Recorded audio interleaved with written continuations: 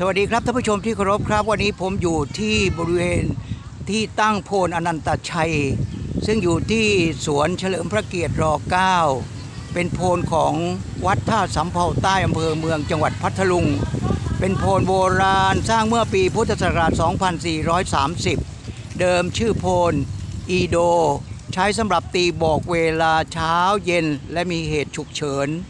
เป็นโพลที่มีรูปทรงสวยงามเสียงดังก้องกังวาน เป็นพลขนาดเล็กนะครับ